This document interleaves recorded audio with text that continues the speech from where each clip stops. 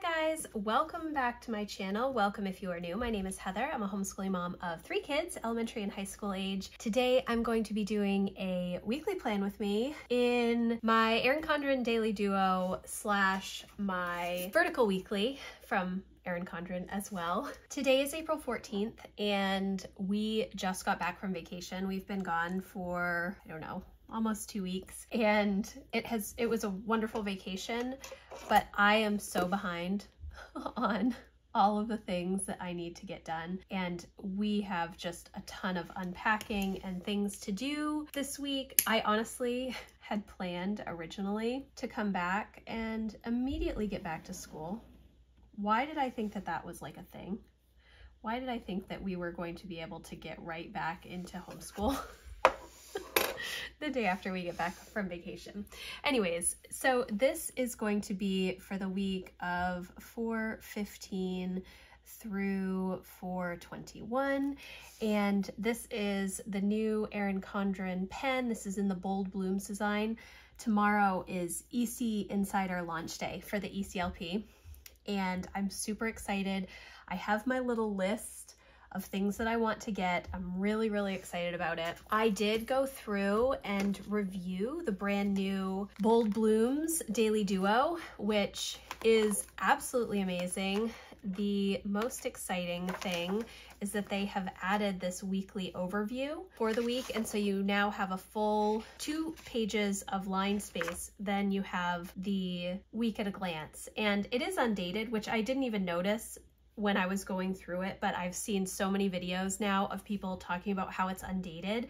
I was planning on just using it for the next week because what I do is I divide my lined page here, it's after Sunday, and I do a brain dump. So now I have space to do a brain dump and then more space and then a weekly overview. So I'm not entirely sure how I'm going to use this yet. I'm thinking I'm going to do home management tasks in here because it I don't think it's enough space for me to plan out my week, but it will give me space to get some things down on paper.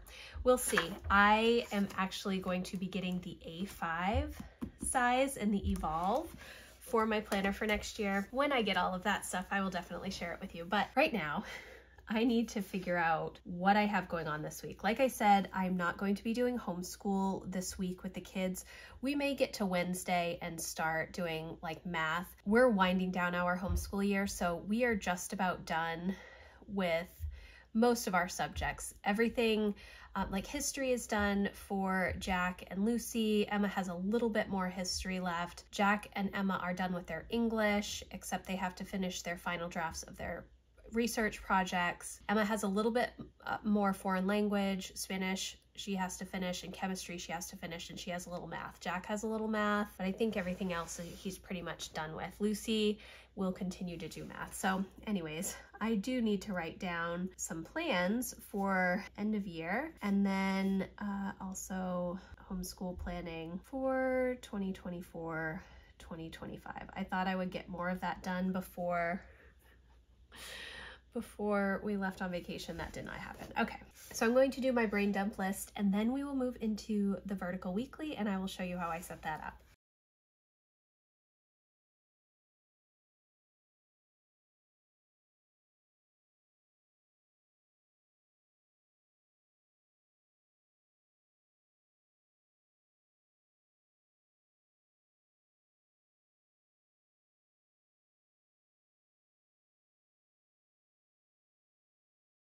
Okay, so this is my brain dump. I feel like there's so much more that I actually need to do. I'm not, I'm not sure. A lot of this, like the spring cleaning checklist, my mom actually came through and cleaned all of my house while we were gone, which was amazing. She did like the windows and the windowsills and the walls and baseboards, all of that stuff. There is some organizing that I still have to get to, but I kind of have to go through. I have not unpacked yet completely. I've started doing laundry. I've done like three loads of laundry, but I still have a ton more laundry to do and then get things kind of organized and put away. I have to switch out the winter stuff.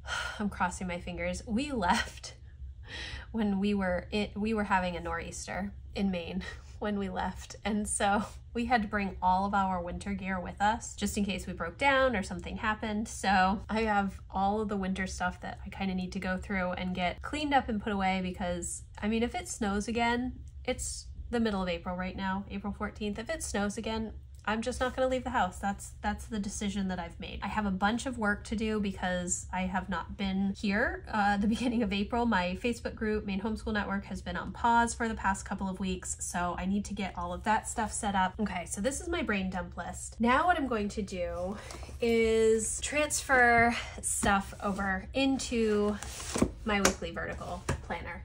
Now, I did a video last week, well, it's actually going up tomorrow. And I did this several weeks ago, but when you're seeing this current video, it was last week, about what I'm planning on ordering for the Erin Condren launch.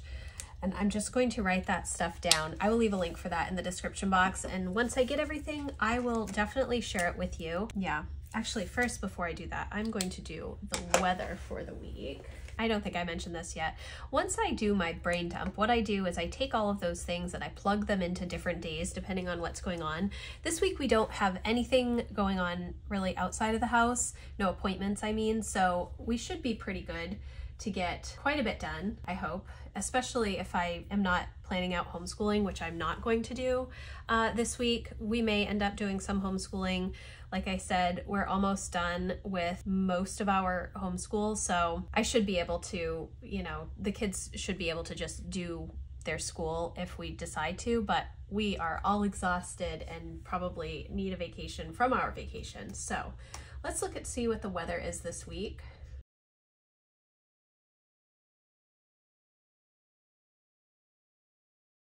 So I think for my EC order, let's see.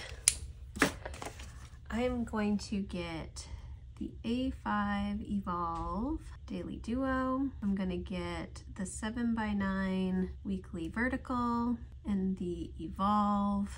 I'm going to get, oops, with goals, the 7x9 Compact Vertical in Evolve with goals for Emma.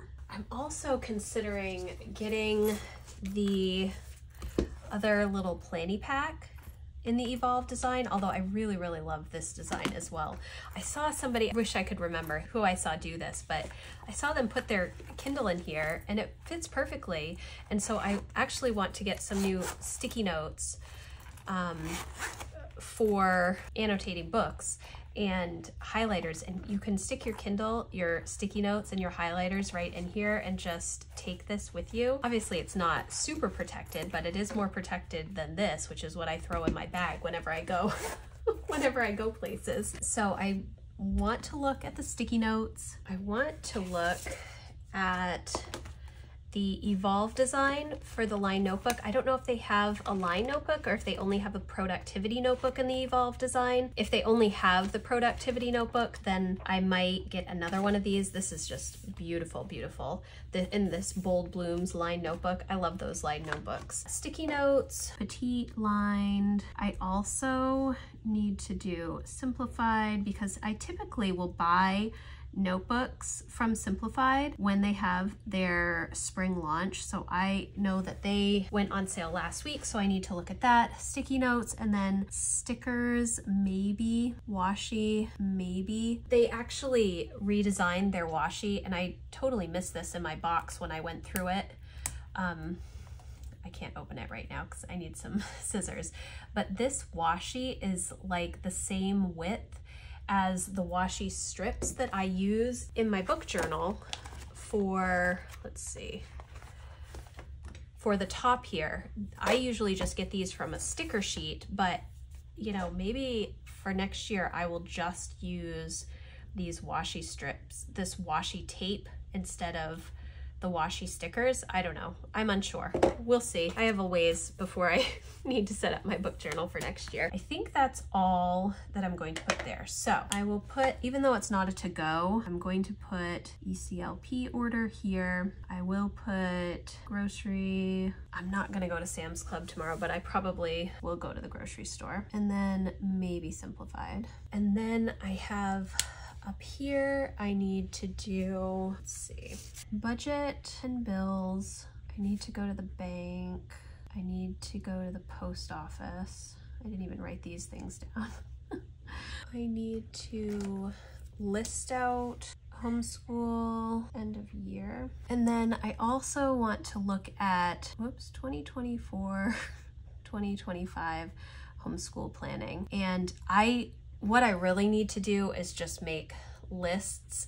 I have a lot of lists, but when I say lists, what I mean is I need to compile a list of the books required for a couple of different curriculum companies that I'm looking at for books for Jack and Emma for next year. Specifically, I'm thinking about the Guest Hollow, Economics, Personal Finance, and Government course. Emma has already done a half credit of government, so she does not need that, but some of the books I think would just be interesting for her, and so I'm considering just combining her and Jack. Technically, she only needs an English credit next year, but she will be doing more than that. We're also thinking of maybe some sort of big project that she can work on throughout the year, like this she's been designing stickers for the past six months or so and so maybe creating some sort of a business and then that course would be very applicable to what she would be doing with business as far as economics and personal finance and understanding the money side of things. We'll see. So I need to do that so that when I sit down to do homeschool planning, probably later in the week, I will just already have those book lists done. I think my problem is that I sit down to start working on these book lists and then I'm trying to research the books at the same time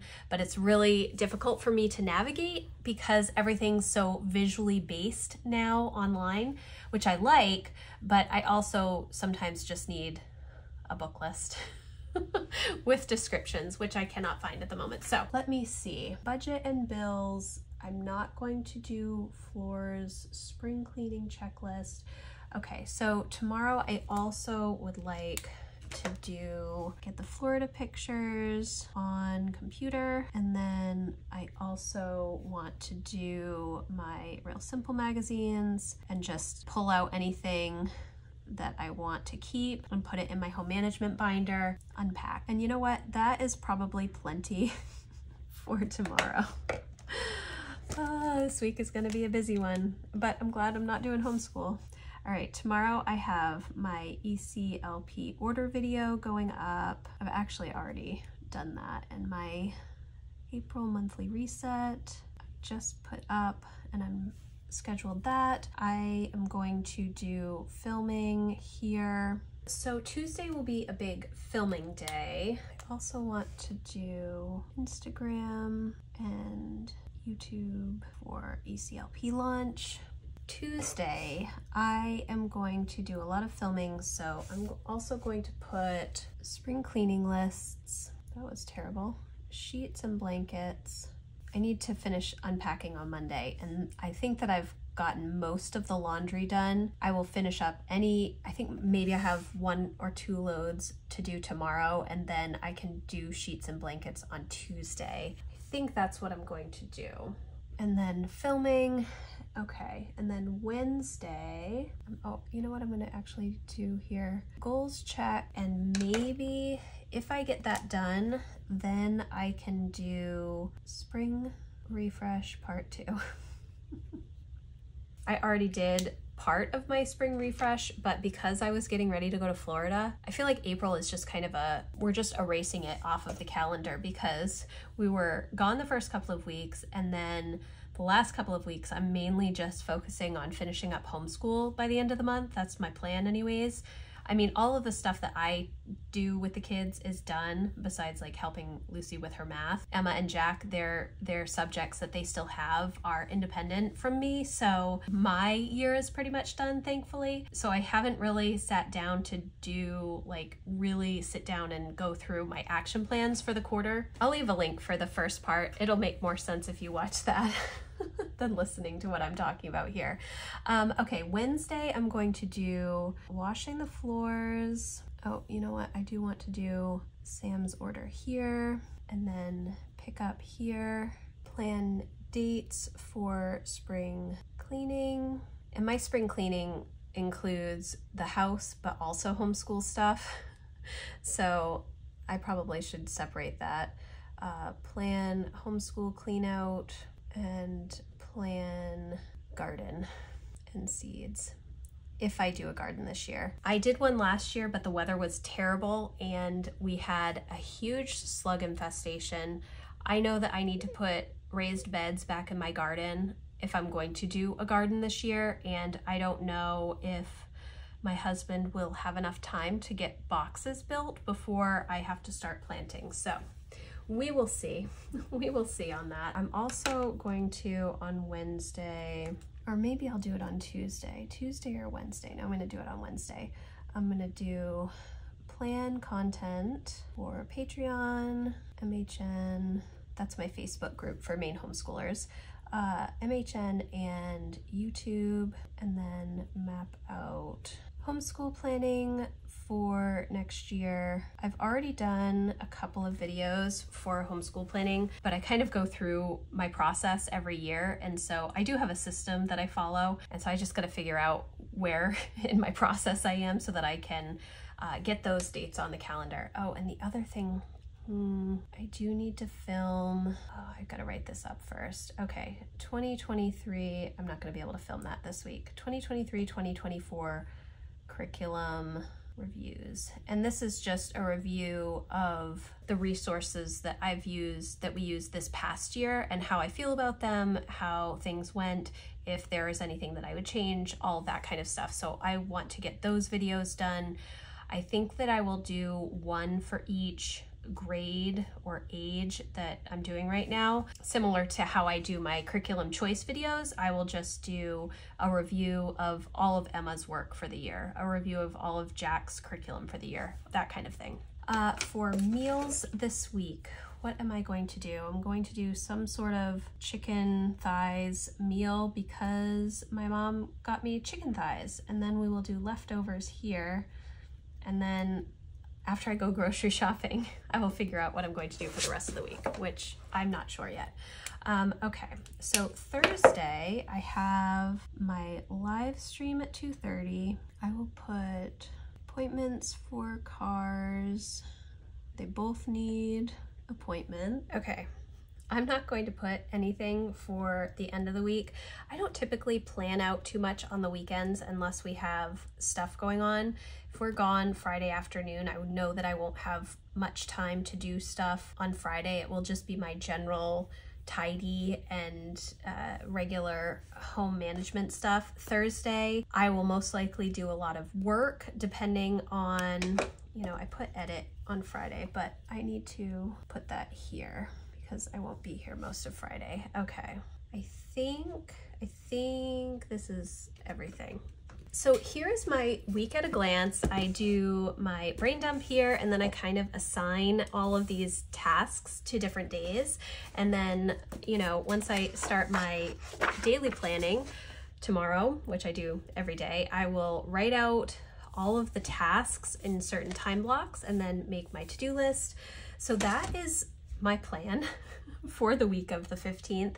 I'm really excited about placing my EC order and I can't wait to get all of the new stuff and share it with you guys once it comes in the mail. But yes, so thank you guys so much for watching. I hope that you enjoyed this video. It was a little all over the place because I'm a little all over the place today. If you like this video, please give it a thumbs up. I would love to hear if you ordered something on launch day or you have ordered something for the EC Life Planner launch, the Teacher Planner launch is just around the corner and I cannot wait to get mine for homeschool planning for next year.